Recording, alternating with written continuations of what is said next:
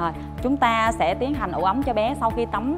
À, sau khi tắm thì thường thì cơ thể bé sẽ bị thay đổi nhiệt độ đột ngột. Chúng ta sẽ giúp bé ấm lên để ờ, phòng ngừa cảm lạnh cảm hạo.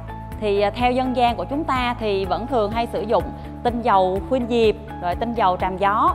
À, nhưng mà có một điều đặc biệt lưu ý ở đây là các tinh dầu à, dùng cho làn da em bé phải thật là thận trọng bởi vì em bé có một làn da rất là mỏng manh và nhạy cảm vì thế chúng ta nên lựa chọn những tinh dầu có độ tinh khiết cao và có hàm lượng hoạt chất đúng theo tiêu chuẩn quy định.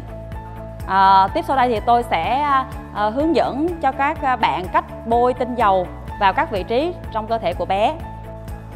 Chúng ta sẽ tiến hành bôi tràm gió vào 6 cái bộ phận trên cơ thể của bé. Thì đầu tiên chúng ta sẽ bộc lộ từng phần mà mình muốn bôi.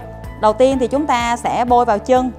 Thì chúng ta sẽ bộc lộ phần chân thôi nhằm à, giúp cho bé không có bị lạnh rồi chúng ta sẽ lấy tinh dầu đổ vào lòng bàn tay theo cái lượng nhất định phù hợp với lứa tuổi của bé.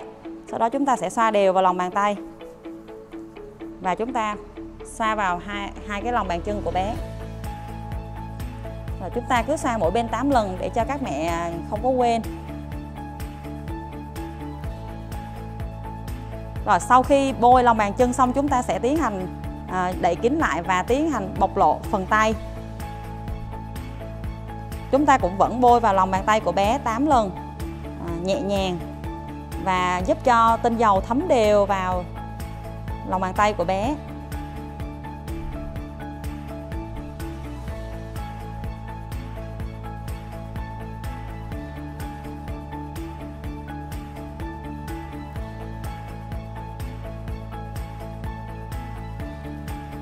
Tiếp tới chúng ta sẽ bôi phần à, thóp top của bé chúng ta thể lấy thêm một tí tinh dầu. Xoa đều. Và bôi nhẹ nhàng vào phần thóp của bé.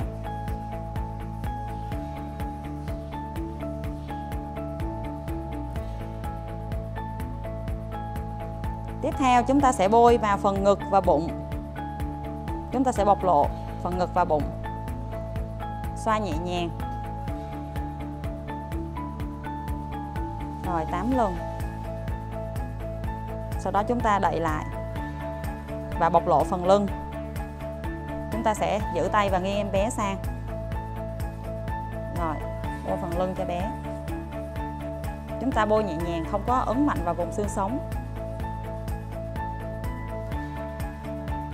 Sau khi bôi tràm gió xong, chúng ta sẽ mặc quần áo cho bé và ủ ấm cho bé.